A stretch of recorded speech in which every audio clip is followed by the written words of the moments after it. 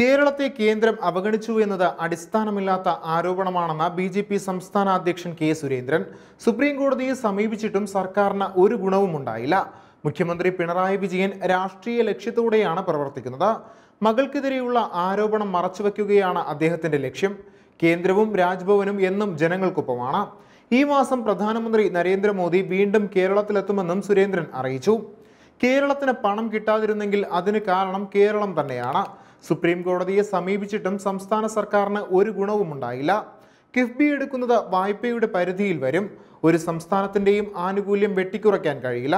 Thomas Isaac അന്വേഷണ ഏജൻസിക്ക് മുന്നിൽ ഹാജരാകാതിരിക്കാൻ പരിശ്രമിക്കുകയാണ്. അദ്ദേഹം കുടുങ്ങും. വായ്പയെടുത്ത് പണം ഐസക് തിരിച്ചടയ്ക്കുമോ എന്ന് സുരേന്ദ്രൻ ചോദിച്ചു. കേന്ദ്രം വനം നിയമം ഭേദഗതി ചെയ്തിട്ടും കേരളം ഒരു നന്ദി വാക്കുപോലും പറഞ്ഞില്ല. ഭൂനിയമ ഭേദഗതിയിലൂടെ വൻ കൊള്ളയാണ് സർക്കാർ ലക്ഷ്യമിടുന്നത്. കൃഷിക്കാരെ സഹായിക്കാനല്ല ഈ നിയമം. അത് പിടിച്ചുവച്ചതിനാണ് ഗവർണർക്കെതിരെ നിൽക്കുന്നത്. ബില്ല് വേഗത്തിൽ പാസ്സാകുമെന്ന് കരുതേണ്ടതില്ല. വന്യജീവി പ്രതിരോധത്തിന് കേന്ദ്രം നൽകുന്ന പണം ചിലവഴിക്കുന്നില്ല. പ്രതിപക്ഷം കുറ്റകരമായ അനാസ്ഥ തുടരുകയാണെന്നും അദ്ദേഹം ആരോപിച്ചു. ജനുവരിയിൽ രണ്ട് ദിവസത്തെ സന്ദർശനത്തിന് പ്രധാനമന്ത്രി കേരളത്തിലെത്തിയിരുന്നു. കൊച്ചിയിലെത്തിയ പ്രധാനമന്ത്രിയെ മുഖ്യമന്ത്രി പിണറായി വിജയനാണ് സ്വീകരിച്ചത്. പ്രധാനമന്ത്രിയെ സ്വീകരിക്കാൻ മുഖ്യമന്ത്രി എത്തില്ല എന്ന അഭ്യൂഹങ്ങൾ നിലനിൽക്കുകയായിരുന്നു അപ്രതീക്ഷിതമായി അവസാന നിമിഷത്തിൽ മുഖ്യമന്ത്രി വിമാനത്താവളത്തിലെത്തിയത്. വിമാനമിറങ്ങി പുറത്തേക്ക് വന്ന പ്രധാനമന്ത്രിയെ മുഖ്യമന്ത്രി സ്വീകരിച്ചത് കൂപ്പുകൈകളോടെയായിരുന്നു.